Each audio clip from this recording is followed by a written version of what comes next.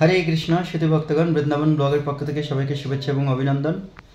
তো প্রত্যেক দিনের একটি ব্লগ থাকে আমার। আজকেরও এটি হচ্ছে একটি ব্লগ। তো আজকের ব্লগের মধ্যে আমি আপনাদের এ প্রথমবার জয়ানন্দ প্রভু সম্পর্কে কিছু বলব। তো জয়ানন্দ প্রভু সম্পর্কে আপনারা অনেক কিছু জানেন। বিশেষ করে রথযাত্রা সম্পর্কে যে রথটি নির্মাণ হয়, সেটা একদম সব সময়ই প্রত্যেক বছরে আমরা শুনতে পাই। তো যাই হোক, এই স্টোরিটা হয়তো সবাই জানেন না। যেটি আমি জানতে পেরেছি, শ্রবণ করেছি একজন ভক্তের নিকট। তো আমি আজকে ওনার সম্পর্কে কিছু বর্ণনা করব। যদি কিছু ভুল ত্রুটি হয়, তাহলে ক্ষমা দৃষ্টিতে দেখবেন। তো, জয়ানন্দ প্রভু এতই মানে একজন বৈরাগ্যবান ভক্ত ছিলেন যে উনি একদম সব কিছুকেই মানে শুধুমাত্র ভগবানের সম্পত্তি বলে দেখতেন। নিজের বলে কখনো দেখতেন না। আর উনি ছিল প্রভুপাদের শিষ্যদের মধ্যে একজন প্রিয় শিষ্য ছিলেন। তো উনি তখনকার সময়ে উনি ওখানে টেম্পল প্রেসিডেন্ট ছিলেন। তো উনি এতই সেবা করতেন, এতই সেবা করতেন, এতই সেবা করতেন যে নিজের শরীরের প্রতি একদম মানে কোনো রকমের ওনার মানে কি কি চিন্তা চেতনা ছিল না।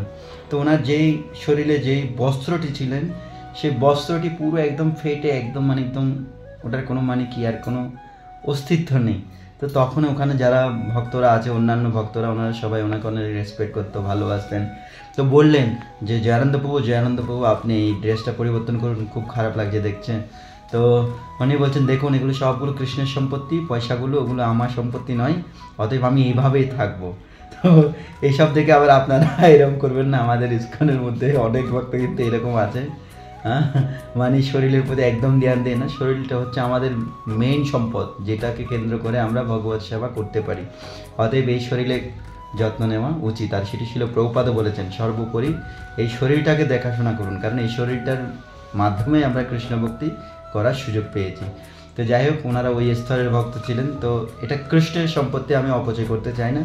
তো যখন সবাই অনেক করে অনেক করে ঠেলাঠেলি করে, অনেক ধাক্কাধাক্কি করে ওনাকে বুঝিয়ে পড়িয়ে যখন এখন তখন এখন কী করবে? বলছে, এরা তো নাচের বান্ধা ঠিক আছে। তো উনি আমেরিকায় একটি বড় একটি শপিং মলে গেছে। ওখানে তো আমাদের মধ্যে গেলে ছোটোখাটো শপিং মল নয়, উনি বড় একটি শপিং মলে গেছে। গিয়ে ওখানে একটি ড্রেস দেখেছেন, সেটি নিয়েছেন। তো এখন রিসেপশন বলছে, কোথায়? টাকা পে করো। তো বলছে, আমি তো টাকা পে করতে পারব না। আমার কাছে টাকা নেই। বলছে, কি টাকা নেই? না, টাকা দিতে বলছে, টাকা দিতে পারব না। বলছে, কেন? বলছে, দেখুন, এই টাকাগুলো হচ্ছে কৃষ্ণের সম্পত্তি। আর আমি এখানে এসছি যেহেতু, ঠিক আছে, আমাকে সবাই বলেছে সেই জন্য আমি এসছি। তো এখন স্বাভাবিকভাবে ওটা একটা মানে মানুষ বলে এটা তো পাগলের মতো অবস্থা হয়ে গেলো। উনি একটা দোকানে এসছেন যে কিছু নেবেন। তো উনি এইটা বুঝতে পারছেন যে ওনাকে পে করতে হবে। কিন্তু উনি সবসময় কৃষ্ণ চিন্তায় উনি কী ছিলেন? একদম মানে বিভোর ছিলেন। ওনার মানে বাহ্যিক কার্যকলাপগুলোর প্রতি কোনো রকমের আসক্তি, আকর্ষণ ওনার টোটালি ছিলেন না।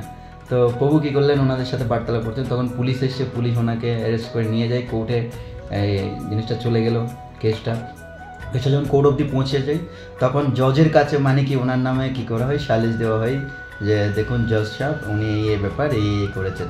তো জজকে উনি বললেন, দেখুন, এত মানে এত মানে হৃদয়ের গভীর থেকে উনি কথাগুলো মানে কথাগুলো বলছে কিন্তু এত গভীর থেকে বেরোচ্ছে কথাগুলো যে জজ পর্যন্ত কি হয়ে গেছে মানে একদম মানে টাকটা হয়ে গেছে, আকর্ষণ হয়ে গেছে। বলছে, এই তো দেখছি ভীষণ মানে একদম মানে জেদি ব্যক্তি। আর তাছাড়া উনি সত্যি ঈশ্বরের প্রতি, ভগবানের প্রতি প্রচুর ভালোবাসা আছে। বলছে, ভাই, তুমি এটা বলো যে কত টাকা এই ড্রেসের দাম? জজ নিজের পকেট থেকে বার করে টাকা দিয়ে দিয়েছেন। জয়ানন্দ প্রভু কি? জয়। তো এই হচ্ছে জয়ানন্দ পুকুর স্টোরি তো শেষের দিকে জয়ানন্দ পুকুর যখন ব্লাড ক্যান্সার হয়, আপনারা সবাই এটা শুনেছেন, এটাও আপনারা জানেন রথযাত্রার উৎসবের মতো, এই রথের, রথ নির্মাণের উৎসবের মতো। এই রথ যখন নির্মাণ হয়, সেই ঘটনাটার মতো এই লীলাটাও আপনারা জানেন। তো এই লীলাটার মধ্যে উনি যখন ব্লাড ক্যান্সার হয়, সম্ভবত কিছু জিনিস আপনারা না জানতে পারেন, কিন্তু ব্লাড ক্যান্সার হয়েছে সেটা আপনারা অবশ্যই জানেন। তো এরপরে ওনাকে একটি বড় হসপিটালে নিয়ে যাওয়া হয়। তখন ওখানে একটা সুসজ্জিত, একটি সুন্দর একটি বেডের মধ্যে জয়ানন্দ প্রভুকে কী করা হয়? বিশ্রামের জন্য রাখা হয়। তখন জয়ানন্দ প্রভু কী করলেন? ভাবলেন, আরে ভাই, এগুলো সব কৃষ্ণের সম্পত্তি। আর আমি এত অযোগ্য ব্যক্তি, আমাকে এত সুন্দর একটি একটি খাটের মধ্যে ওরা বিশ্রাম করতে দিয়েছে, এত বড় একটি সোসাইটির মধ্যে, একটা হসপিটালের মধ্যে? আরে ধুর, এসব কি? কি হচ্ছে এসব আমার সাথে? উনি যোগ্য ব্যক্তি খুঁজে পেলেন না। উনি যোগ্য ব্যক্তি ছিল প্রভুপাদের ফটো নিয়েছিল প্রভুপাদকে দিয়ে। উনি নিচে গিয়ে কি করলেন? শুয়ে গেলেন। তো দেখুন জয়ানন্দ প্রভু হচ্ছে, তারপর তখন ভক্তগণ সবাই এসছেন। এসে বলছে, কোথায় জয়ানন্দ প্রভু কোথায় জয়ানন্দ প্রভু দেখতে এসছেন। তখন দেখছেন জানানবাবু তো নেই মানে ছিল প্রপাত যাচ্ছে হঠাৎ করে একজন নিচের দিকে চোখ পড়তে দেখছি জানানবাবু নিচের দিকে। সবাই ওনাকে বার করলেন, অনুরোধ করলেন জানানবাবু এই এই কী ব্যাপার? আপনি এরকম কেন করছেন? এটা আপনার জন্যই। ব্যাটটা বলছে, না, আমার কোনো যোগ্যতা নেই, এত সুন্দর সুসজ্জিত বেডের মধ্যে শোবো। তারপর কি হয়েছে দেখুন এরপর সে, উনি যখন শরীরটা ছাড়ে পরবর্তীতে এই ক্যান্সারের কারণে, তখন ছিল প্রভুপাত ঘোষণা করেন যে জয়ানন্দ প্রভু সত্যি একজন ভগবান, একজন মহান ভক্ত। আর এটি আমি ঘোষণা করছি যে জয়ানন্দ প্রভু ভগবানের কাছে ফিরে গেছে। একদম প্রভুপাদের এটা কি? এটা এটা বাণী মনে করতে পারেন। তো যাই হোক, যেহেতু গুরু গুরু রুষ্ট হইলে কৃষ্ণ রাখিবার না পারে আর যদি গুরু প্রীত হন তাহলে তো আর কোনো কথাই নেই, তাই না? তো জয়ানন্দ প্রভু তিরোভাব তিথি সবাই পালন করে ইস্কনের মধ্যে বিশেষ করে। তো আমরা এই যে রথযাত্রা আগামী জুন বা জুলাই দিক দিয়ে হয়তো আসবে রথযাত্রা। তো সেই রথযাত্রাটা যে আমরা যে দর্শন করছি, সেই রথযাত্রার পতক যে রথটি নির্মাণ হয় ইস্কনের মাধ্যমে, সেই রথটি কিন্তু জয়ানন্দ প্রভুই নির্মাণ করেছিলেন। আর আমি আর একবার শুনেছিলাম আমাদের দৈবী শক্তি মাতাজি শিল প্রভুপাদের একজন শিষ্যাদের মধ্যে অন্যতম। উনি বলেছিলেন যে, জয়ানন্দ প্রভু ওনার কাছ থেকে শুনেছিলাম সম্ভবত বহু বছর আগে একবার। আমি ভুল বলছি কিনা জানি না। উনি প্রতিদিন কী করতেন? সিএনজি সিএনজি ড্রাইভ করতেন সিএনজি ড্রাইভ করে টাকা পয়সা ইনকাম করতেন।